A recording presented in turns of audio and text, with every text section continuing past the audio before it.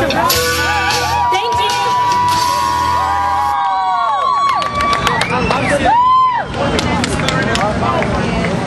That was Kayla Dietrich. I think she's in her, what, second or third year at UTSA in pre-med. That's our older kids in the organization. He's 28 years old.